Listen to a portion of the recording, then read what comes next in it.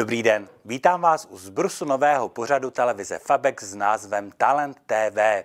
Jak název napovídá, bude se věnovat práci s nadanými dětmi a jejich rozvoji. Ostrava si totiž své talenty hýčká. Díky tomu se jim mohou školy nadstandardně věnovat a když se to podaří, mohou výsledky inspirovat další pedagogy, přesně jako se to stalo na počátku října na základní škole Březinova. Talent se projevuje v různých směrech. Velmi ceněný je ten vědecko-technický a proto je důležité inspirovat a mapovat ty, kteří v budoucnosti zaplní laboratoře vědeckých ústavů.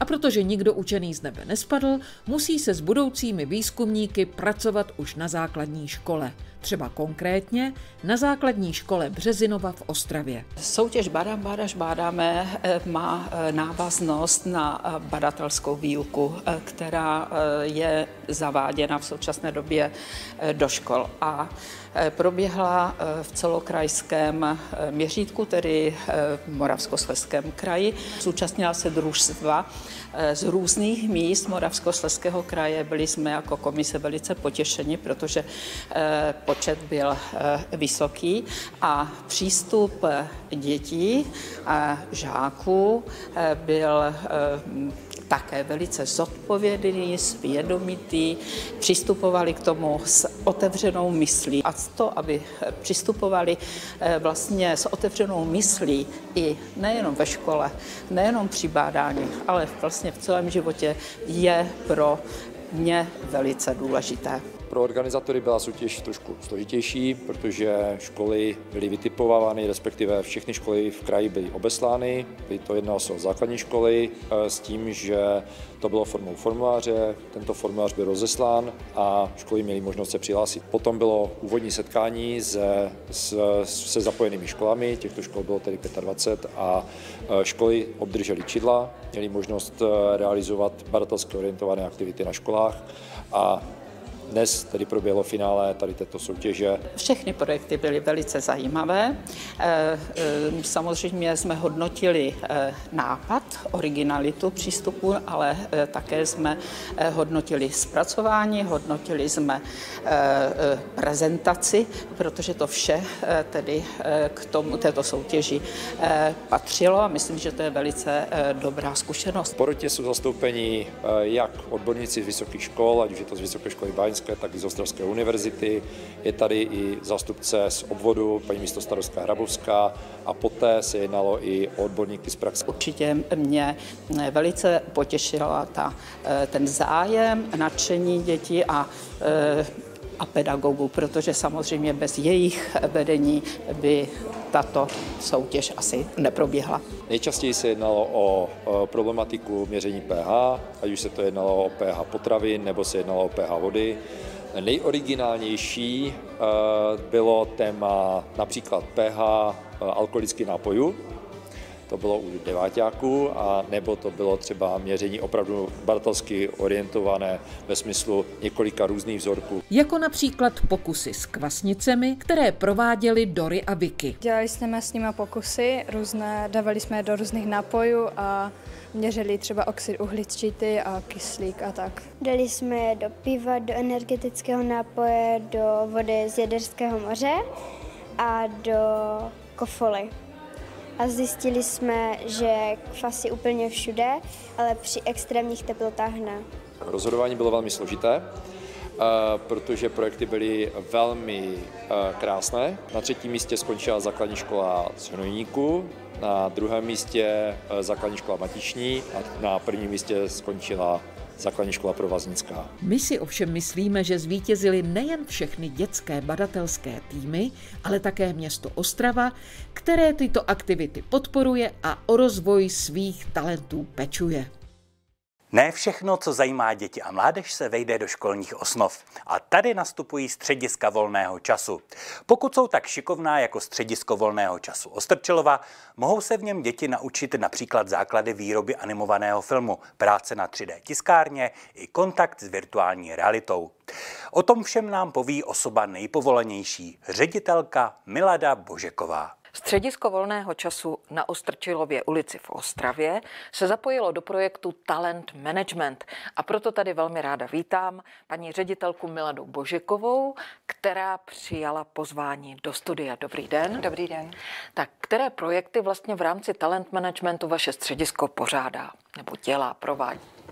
Tak je pravda, že my se do projektu Talent Managementu města Ostravy zapojujeme pravidelně každoročně už, už od roku 2017, kdy vlastně tahle ta dotační výzva začínala.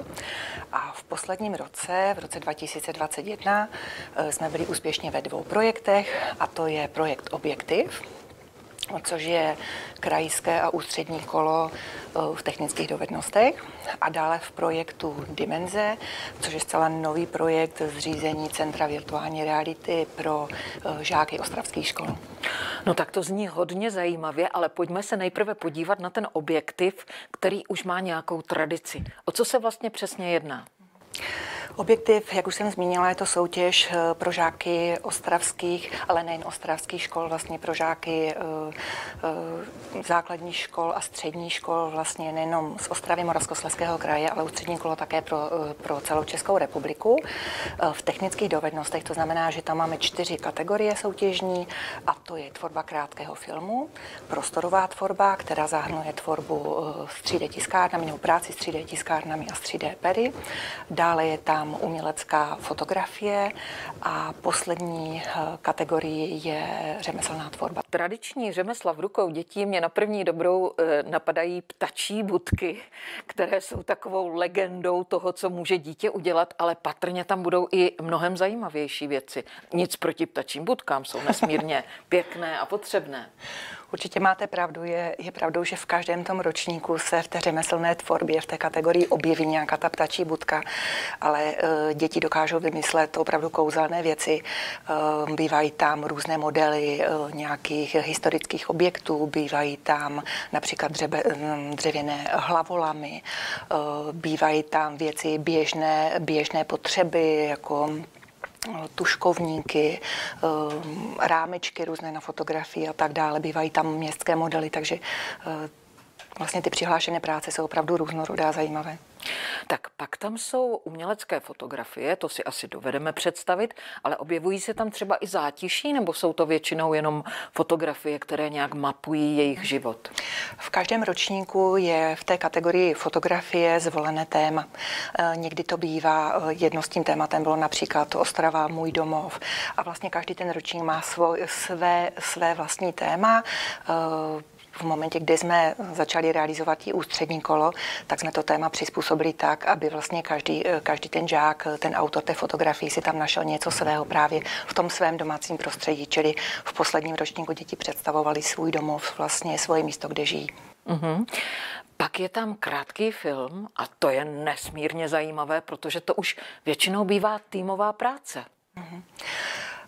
Uh... I v tomhle máte pravdu. Týmová práce, tam vlastně je možnost, do toho krátkého filmu se můžou přihlásit jednak kolektivy, ale jednak je vlastně i samostatné děti. A v tom filmu je úžasné to, že oni si můžou zvolit techniku, eh, kterou si vyberou podle svého zájmu, podle toho, co zvládají, co umí. Eh, bývají tam filmy, které jsou točené jako klasické filmové klipy, bývají tam filmy, kde děti pracují s obrázky, s fotkami, s animacemi, bývají tam filmy, kde děti například použili eh, v jedné z vítězných prací um, igráčky nebo postavičky z lega, takže ty filmy jsou opravdu různorodé a je to zajímavé, protože každý je úplně jiný. A ta poslední kategorie bylo... Prostorová tvorba. Prostor a takže to jsou nějaké veřejný prostor hmm. nebo Prostorová, Ne, ne, ne. Prostorová tvorba, eh, tam máme na mysli eh, tvorbu ve 3D, to znamená, že eh, buď děti vytvoří svůj vlastní model na, v, ve speciálních softwarech a vytisknou ho na 3D tiskárně, anebo můžou vlastně použít buď jako samostatnou techniku nebo kombinaci 3D pera. Takže je to 3D pera, 3D tiskárny, ať už jednotlivě nebo v kombinaci. Tak a závěrečná otázka. Říkala jste, že to jsou kola, čili jsou tam i nějací vítězové. Podařilo se vašim dětem získat nějaké ceny například? Eh, podařilo. Naše děti získaly ocenění jak v kategorii fotografií, tak i vlastně v těch krátkých filmech. A takovou zajímavostí tohoto projektu je, že eh, vítězové nebo autoři těch oceněných prací nezískávají jenom diplom a klasickou tradiční věcnou cenu, ale získávají také jednu motivační zážitkovou cenu a to je v den, kdy probíhá vyhodnocení vlastně té soutěže a předání těch diplomů a věcných cen, tak mají jako další dárek celodenní aktivní workshop, kdy všechny možné disciplíny, eh, které jsme schopni jim jako středisko představit, eh, tak můžou celý den zkoušet, můžou v, to, v těch různých technikách pracovat, čili všechno to, co mohli přihlásit do soutěže, veškeré ty techniky si můžou aktivně vyzkoušet, i když se třeba zrovna této kategorie nezúčastnili. A musím říct, že vlastně eh, tahle ta zážitková cena pro ty děti bývá mm, většinou cenější než ta věcná cena. Tomu rozumím, to zní úplně jako ohňostroj kreativity. Určitě. A, eh, prosím pěkně, pojďme tedy k té úplně nové, k tomu novému projektu, když jsme si popsali objektiv. Eh, ten nový projekt se nazývá Dimenze, zřízení vědeckého centra pro žáky ostravských škol. Eh, byť je to pro žáky ostravských škol, není tím myšleno jen eh, vlastně aktivity pro školy, pokud nám přichází školy jako celkově třídy v dopoledních hodinách, ale je tím myšleno, že do projektu se můžou zapojit všechny děti, které jsou žáky ostrav, ostravských škol, a to už i v rámci třeba volnočasových aktivit. Je, pořizova, je bylo vlastně pořízeno velmi moderní vybavení na rozšíření rozšířenou a virtuální realitu, eh, které zahrnuje eh, mimo jiné eh, VR technologie, což je pro ty děti vlastně něco zcela nového a něco, co rozšířuje jakoby obzor nebo možnosti té výuky, takže je to určitě velmi zajímavý projekt. No to rozhodně a prosím pěkně, já se předem omlouvám, přece jenom už jsem jiná generace, ale abych si to dokázala představit, to je místnost, ve které si děti třeba nasadí různé brýle a tak dále a pohybují se ve virtuální realitě a můžou tam dělat nějaké úkoly a takhle? Mhm. Dá se to tak říct. My máme ten program nastavený pro malé skupiny žáků, to znamená jedna skupinka zhruba do desíti dětí, což znamená, že pokud nám přijde na výukový program eh, jedna celá školní třída, tak my si je rozdělíme do dvou skupin. Jedny děti pracují v jedné místnosti v tak, s takzvanou rozšířenou realitou, což znamená, že počít, eh, používají 3D eh, softwary, ve kterých tvoří a ve kterých na dané téma vlastně zkoumají ty své objekty, například rostliny, zvířata, lidské tělo a tak dále, eh, zkoumají ve speciálních softwarech pomocí počítače, notebooku. A ta druhá skupina pracuje v jiném prostoru, v jiné učebně a ta už používá právě tu virtuální realitu, to znamená eh, virtuální brýle.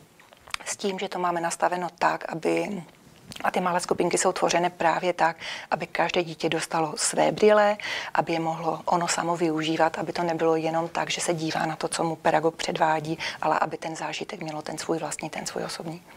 Zní to nádherně a myslím, že jste odvedla kus vynikající práce, paní ředitelko. Určitě máte ale i skvělý tým, který vám v tom pomáhá.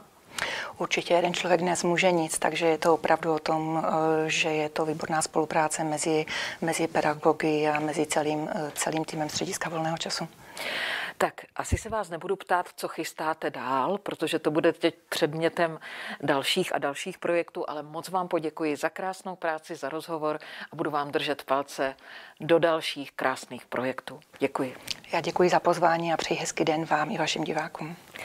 Naším hostem ve studiu byla ředitelka Střediska volného času na Ostrčilově ulici paní magistra Milada Požeková.